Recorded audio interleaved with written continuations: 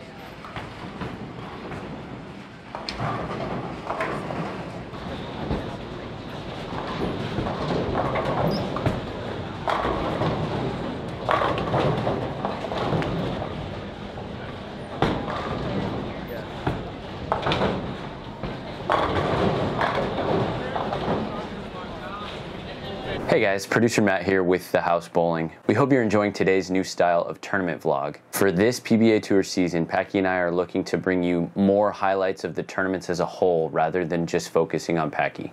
There will still be plenty of Packy highlights, don't worry about that. However, we want to bring you scoring updates from the other members of the house, guys that appear on the channel sometimes, and the leaders of the tournament, focusing on the tournament as a whole. If you guys are excited about this format, or if you're not, please comment down below and let us know what you think. Our first tour stop is next week right here in Wichita. We're super excited. We got a lot of guys flying in. We're going to bring a lot of great content for you guys. So stick around, hit that subscribe button, stay up to date with all the PBA stuff this season.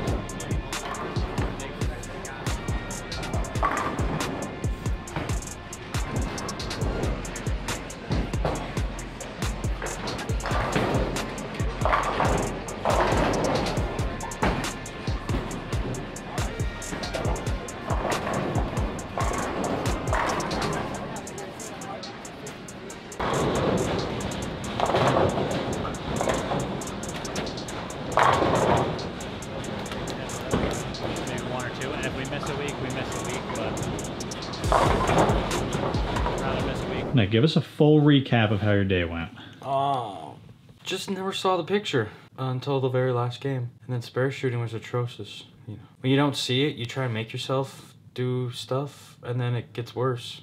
What do you think you should have done looking back? I I should have shipped it to the gutter like fast, like a short pattern. The problem is like this place in years past, it do, like the gutter doesn't bounce all the time, but I think recently, to me, they feel like they leveled the lanes. To be completely honest, I don't know for a fact. That's just my guess. But the gutter actually hooked, and you had to ship it there like a short pattern. And I wasn't getting it there fast enough. I, my break point was like five six, and I think it needed to be like three four. And I got reinforced game two because I shot two thirty, getting it to five six. Just bad. And then like I was so focused on shot one that spare shooting was bad. I probably missed about sixty pins and spares. So make your spares, kids. As for me, my strategy, I was throwing the purple hammer um, the first four games, then I switched to the black hammer the next two. I kind of saw similar to what Nick was seeing, where you know I was throwing my ball to five or six to try and stay away from the gutter. Because for me, I definitely had some pairs where the gutter didn't hook, where I would miss a couple left, and it would hang out there. Um, so what I try to do was keep it around five six, and going into those last two games. I think I switching to the black hammer. I actually was able to throw it to the gutter, but I never saw that picture in my mind, especially after shooting 250 game five.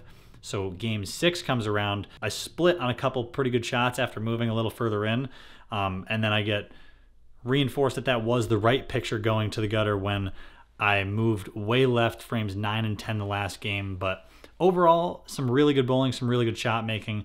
Um, I'm going to try and continue the rest of the week to see the picture the right way, make a lot of good shots, and uh, make almost all my spares because I only missed one makeable today, which is a solid day for six games of bowling. So obviously, it helps when you're shooting a lot of single pins, but um, get the right picture again tomorrow, and hopefully I'll be shooting a lot of single pins and striking a bunch tomorrow too. So that's my recap. Good luck in editing that, Matt.